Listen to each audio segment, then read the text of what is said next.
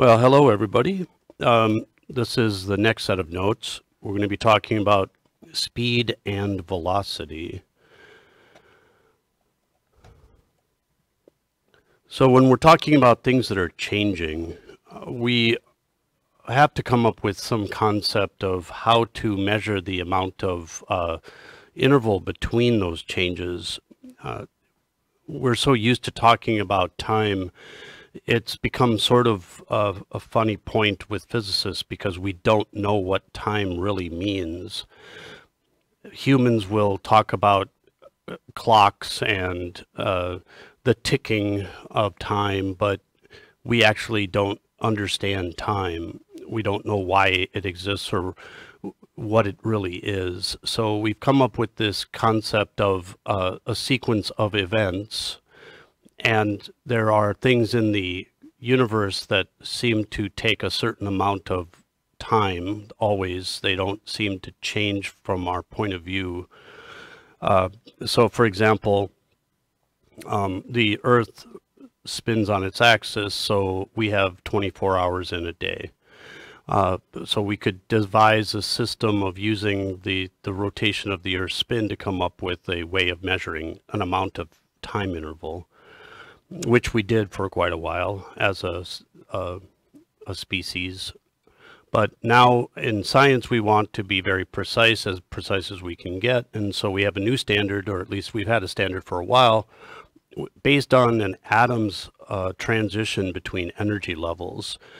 So we count a certain number of times that an atom will transition between two different states. And for a given count of those transitions, we call that one second. Um, so that's time. Uh, it sounds odd, but we act, in physics, we don't actually know what time is.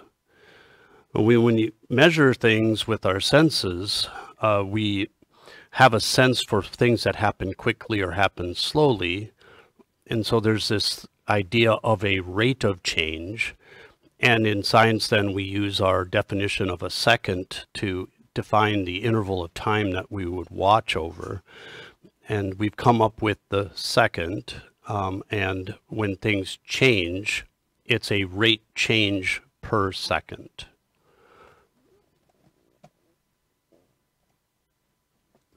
For position, the rate change of position with respect to the second is known as velocity. So we say that velocity is equal to displacement divided by the time interval it took for that displacement to happen. Uh, at the bottom of the screen, you see the definition for velocity, and it's using delta x, which would be the change in position, divided by delta t, which would be the change in time. And we could also refer to things moving with speed. The only difference in physics between velocity and speed is that velocity uses displacement where we talk about the change in position, whereas speed uses distance, which would be the path length during the, the movement. Displacement also has direction to it, so that we use displacement almost exclusively in physics instead of distance because if you don't uh, take care of knowing about the directions that things are occurring, you'll more than likely get the answer wrong, especially later on when we get into accelerations and things traveling in two dimensions instead of just along a straight line. So velocity is defined by displacement over time, where displacement is a vector, so velocity is a vector. It, includes the direction. And speed is defined as distance over time, where distance doesn't include a direction. It uses path length. Both of them use units of meters per second.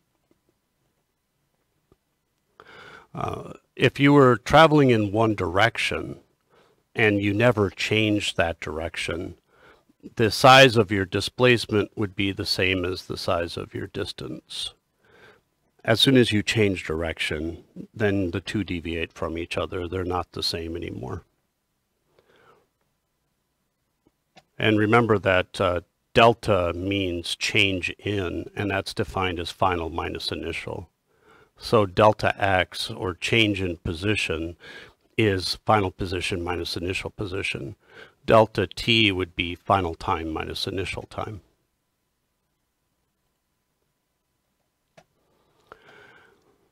Uh, looking at average velocity and average speed, it's a bad idea to do numerical averages like you might do in math. So if you had two different velocities and you wanted to know your average velocity, don't just add the two velocities together and divide by two. Or if you have three velocities, adding the three velocities together and dividing by three. That'll more than likely be wrong. And it's because when you do that average, it's assuming that each number has the same amount of impact on the average. But usually when you're doing average velocities, you've traveled at different the different velocities for different amounts of time. So if you traveled really slowly for an hour and then traveled really fast for one second, your average velocity isn't the midpoint between those two velocities. It's very close to the very slow velocity because you traveled at that speed for a very long amount of time compared to the fast velocity. So the better way to do it to find average velocity or average speed is to take total displacement divided by total time or total distance divided by total time if you're using speed. So I'll show you an example of that. So let's just say for a simple example, you're traveling at 30 kilometers per hour for two hours and then 40 kilometers per hour for one hour if you did a mathematical average where you just added the two numbers together and divided by 2, you'd end up with 70 divided by 2, where the 2 comes from the number of numbers you used. You have a 30 and a 40, so you have two numbers. And that ends up with an answer of 75, or 35 as an average, 70 divided by 2. But that's incorrect. That's not the true average you've traveled at 30 kilometers per hour for longer, so your average should be closer to 30 kilometers per hour. So instead, you figure out how far you traveled during the first part of the trip. So 30 kilometers per hour for two hours means going 60 kilometers. And then you traveled 40 kilometers per hour for one hour. So it's 60 kilometers plus 40 kilometers, which is a total of 100 kilometers and then you divide by the total amount of time, which is three hours. So 100 kilometers divided by three hours is 33 kilometers per hour, or close to it. So you should do it that way. If you're doing an average velocity or an average speed, don't just add them together and divide by the number of numbers. Find total displacement and then divide by total time. And there will be an example of that on the test. You will be checked to see if you do it the right way. If you're given a position versus time graph, change in position would be the change of the value on the y-axis. And we would call that the rise for that uh, graph. And then change in time, the time interval, would be the change along the x-axis. So if we do change in position divided by change in time, that's like saying take rise divided by run. And rise over run is slope. So on a position versus time graph, the slope of the graph tells you the velocity of the object. A constant velocity graph would be a straight line because the object would have the same slope for the entire trip. It's a constant velocity.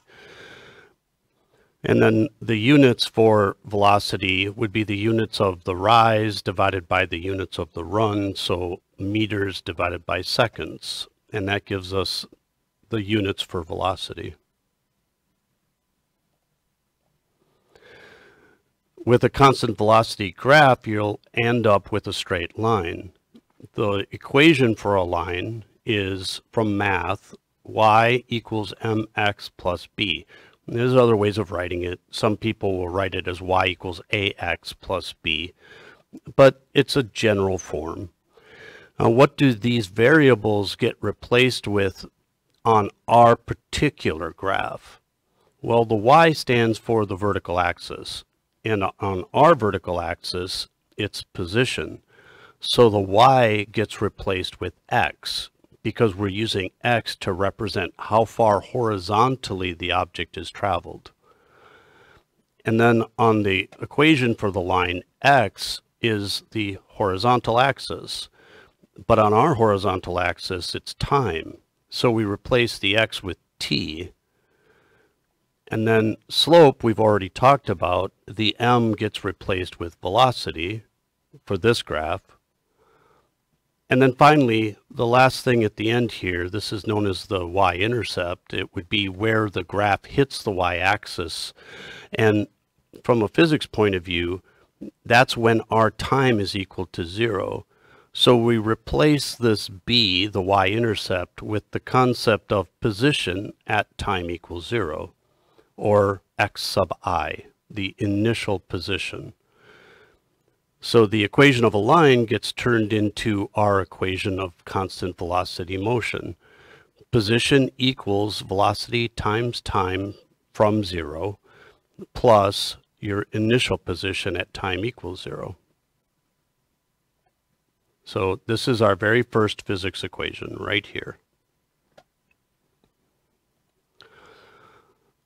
I'd like you to figure out what is the equation of motion for this particular graph. It's an object that's moving, and I want you to use the idea of a line, but convert the parts that you can into the equation of motion. So you should replace the m, because you can actually figure out what the slope is, and you should replace the b. You can just read that right off the graph. What is the y-intercept? So you'll end up with x equals some velocity times t plus some value for the initial position. So please do that now.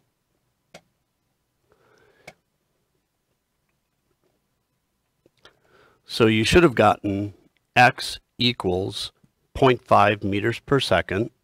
Always put the units on a number. Times t plus a beginning position of 5 meters when we were at t equals 0.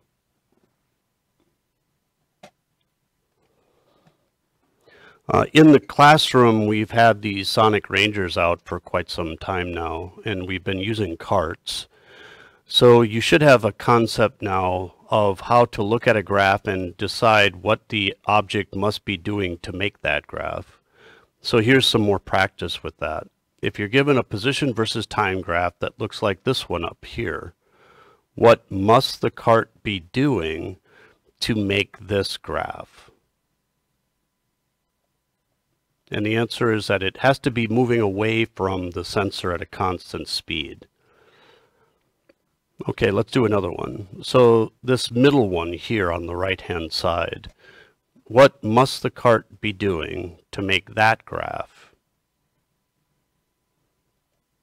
So the cart would have to start at some distance away from the sensor and then be moving towards it. Now finally the last one at the bottom here on the left, what would the cart have to be doing to make that graph? So it'd be sitting stationary at some point away from the sensor, like about halfway down the track. Okay, this would be similar to a question on the test. So choose the correct position versus time graph for the given explanation or given description of motion. So we have a person that starts one meter away from the Sonic Ranger and walks away from the Sonic Ranger slowly and steadily for four seconds. They stop for three seconds, and then they walk fast back towards the Sonic Ranger for the last three seconds. Which of these position versus time graphs would be the best choice?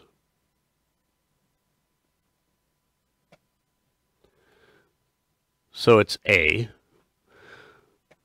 You start near the sensor but away from it. Uh, then you travel at a constant speed away from the sensor, so you're going up the graph. Then you stop, so you have to be flat, no velocity. And then finally you have to walk rapidly back, so that means steep. and it has to be heading down because you're heading back towards the sensor. Now we've been talking about average velocity. Now we're going to talk about instantaneous velocity. So if you're in a car and you look at the speedometer, you see the speed at that moment in time, and the speedometer will likely change as you continue to watch. It's not changing because it's recalculating a new average as you've changed your speeds, and it's actually just telling you how fast you're going at that moment. It doesn't remember anything about what happened before. So that's instantaneous. It's the speed at that moment in time or that velocity at that moment in time. Uh, to calculate an instantaneous or average velocity or instantaneous speed or instantaneous velocity, uh, you would do the same calculation. It's change in position over change in time, but it has to be at a given moment in time. So the interval of time has to be shrunk down to be a single moment, which is essentially not an interval of time. It goes to zero. The delta t becomes zero. And any number divided by zero is infinity. So from that point of view, it should be impossible to calculate an instantaneous velocity or instantaneous speed. But there are mathematical ways to do it. And if you get into calculus, if you continue in math and you learn about the mathematics of change, then you'll find the tools to be able to handle this situation. For now, in physics, we're going to look at it from a graphical point of view, from looking at a position versus time graph.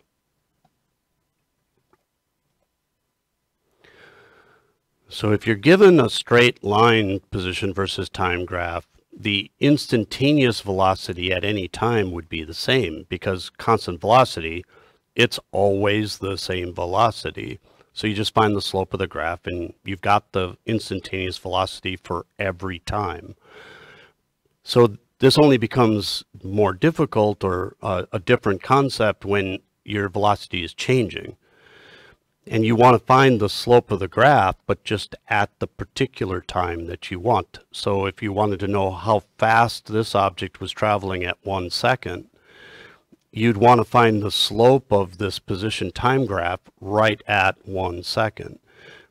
And that's now using a tangent line. So you draw a tangent line in, and you find the slope of that tangent line, the place where that line touches the graph just at that one point. These other lines here are average velocities. They're taking an interval of time that's not zero. So the very first one, this one down here, is using the interval from zero to two seconds. And it's an average then.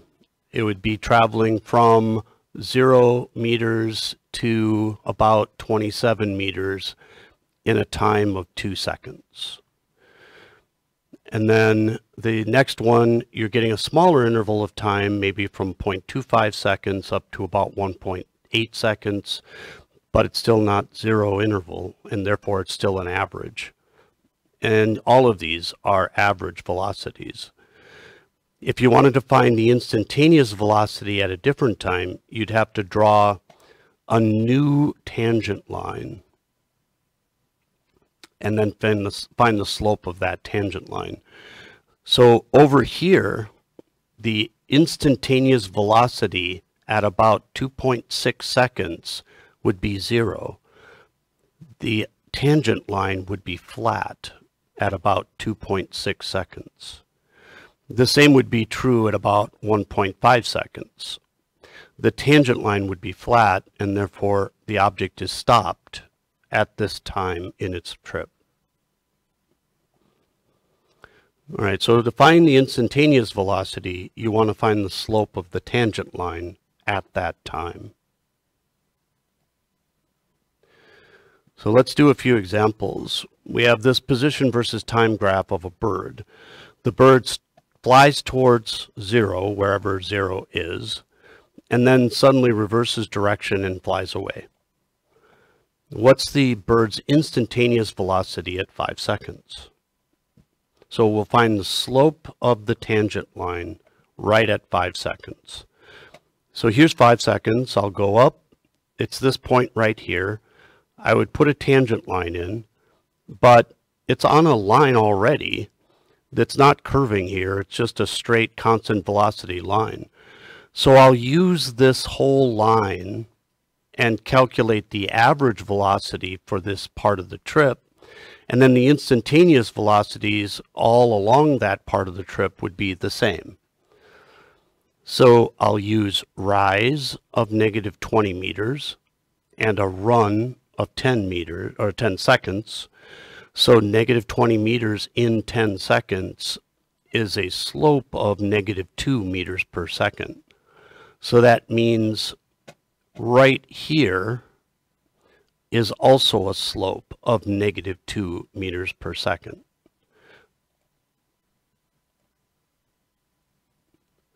Now at 15 seconds, I would want to find the tangent line here, but it's a straight line, constant velocity, so I'll use the entire segment. I go up 15 meters and over 15 seconds.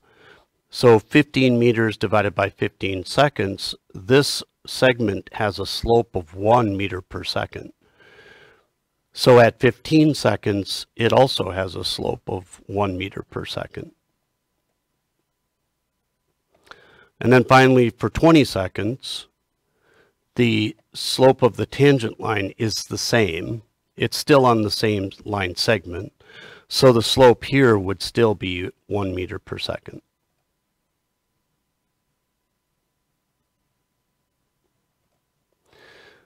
Okay, the next set of questions are for average velocity, and average velocity requires a time interval. So we'll start from zero and go to 10 seconds. Well, we've already done this. We had to do it to get the instantaneous velocities. So we have a rise of negative 20 and a run of 10 seconds. So this would be negative 20 divided by 10 or negative 2, the average velocity for this part of the trip. Uh, for the next part of the trip, again, we've already figured out the slope of this line. So it's a rise of 15 and a run of 15. So it's 15 meters divided by 15 seconds, and that's one meter per second. And then finally, the new part of this, what's the interval or what's the average velocity starting here at zero and going all the way to the end? So we're going to use the displacement of negative 5 meters divided by the time interval of 25 seconds. And negative 5 divided by 25 is negative 0.2 meters per second. So notice in this case, the average velocity for the entire trip is not the same as the numerical average of these two numbers. If we took the numerical average, we would get negative whatever, but it's not negative 0.2. It would be negative 0.5. So it's not the same. Okay, the next set of questions, find the average speed. This uses path length. So it may be the same as the displacement over time, but only if we don't turn. So for the first part of the trip, it goes from 0 seconds to 10 seconds, and it travels a distance of 20 meters. So it's 20 meters divided by 10 seconds, so it's 2 meters per second. Notice the missing negative sign, because we don't care about direction when we're talking about speed. All right, from 10 seconds to 25 seconds, uh, we do a distance of 15 meters and a time of 15 seconds. So 15 meters divided by 15 seconds is one meter per second. So in this case, it's the same as the average velocity for the same interval. And now finally, for the full duration of the trip, we have a distance of 20 plus another distance of 15 for a total distance of 35.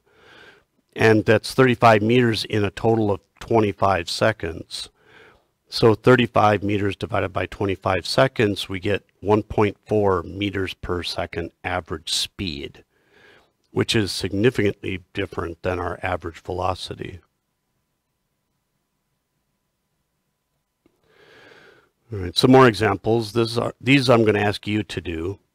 So what is the velocity, and this is going to be average velocity, for the first line segment, for segment A? All right, so you'd want to do rise over run, 2 meters divided by 1 second, and that's 2 meters per second. All right, please do B. What's the average velocity for this time?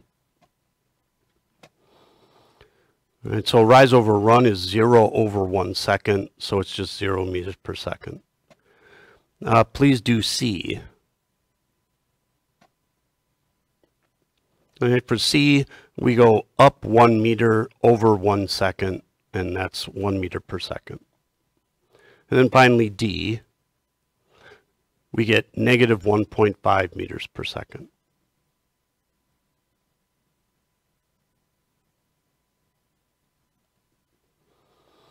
All right, last one, I believe. We have a bus trip. This is the plot of its position versus time. It starts at 20 kilometers. So we could say that the school is at 20 kilometers on the highway and the center of town is at zero. So what is the final displacement of the bus? This is at the end of the trip.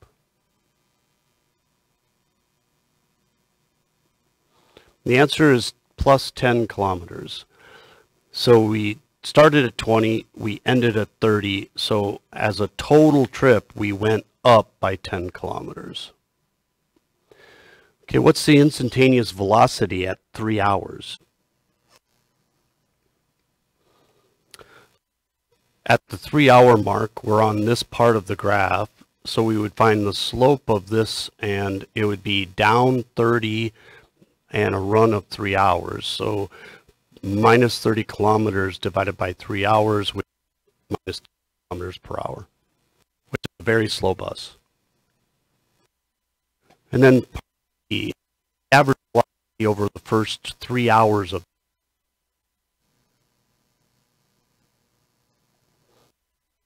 zero kilometers per hour. The displacement is zero.